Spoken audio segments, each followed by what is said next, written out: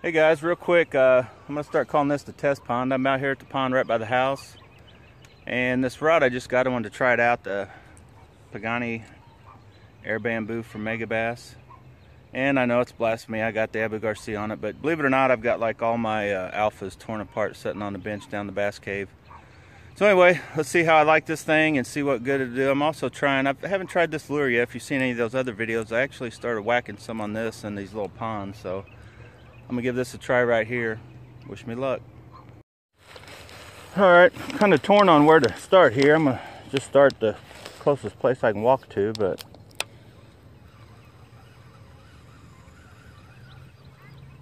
the uh, wind's blowing in on the dam but as it's warming up, the shallow side's over there. That's kind of where I was hoping the wind was blowing into, but I think I'm gonna work to the dam because uh, last couple days I fished, all the action's been right off the, oh, something just worked out of the edge there. All the action's been uh, on the windy side, wherever I was, so that's probably what I'll do is just go work along that dam. That's where most of the fish I have caught out of here earlier this year have come from, so. So far this thing, casts this thing real well. This thing almost feels like too much weight on the tip as far as, I'm not even sure what these little things weigh though. I'm just to hold the rod down until I see what they want. I don't think they're to be hitting top water yet anyway. I could this lure almost works close to like a wake bait if you hold the rod tip up.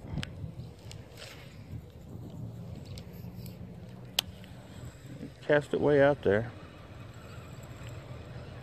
Uh, I'm putting together an unboxing thing on this, but I uh, weighed it up with with this reel It's like uh, under seven and a half ounces with the braided line already on so if I leave it like in this configuration with this combo this is the definitely the lightest combo I've ever fished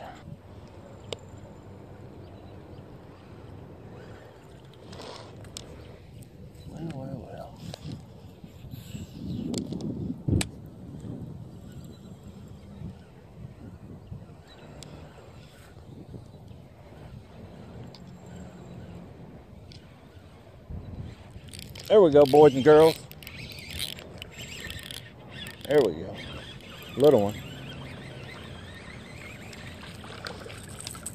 Little quarter pounder of cheese. Uh-oh, I don't have my pliers or nothing.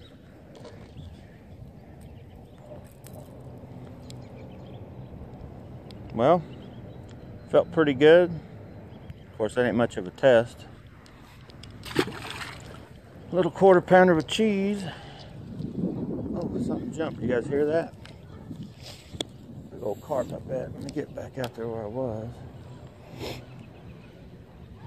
Remember how I was reeling. I think I was out like this. Kind of getting it down. Feels pretty sensitive. I can feel that bait. It ain't got a big uh, bill on it, but you can feel it shaking, doing its thing down there this rod, and I, of course I have braid on, 10 pound. I believe that's uh, KastKing, cheaper stuff. But so far I've had, I don't know, braid's braid I think. That stuff's pretty stout. Most all of it, you know, will, if it says 10 pound, it'll break well beyond that, 11, 12, 13, so. Main thing, if you're fishing with braid, and then I like to run, I don't like to go straight braid to the bait. I like to give myself about my arm's length, which probably about six foot. Spread my arms out and tie on a copolymer leader is what I use. Uh, Original. I think you can only get it from Tackle Warehouse. I don't think you're going to find it at, I think I love Cabela's Bass Pro. None of those guys carry it.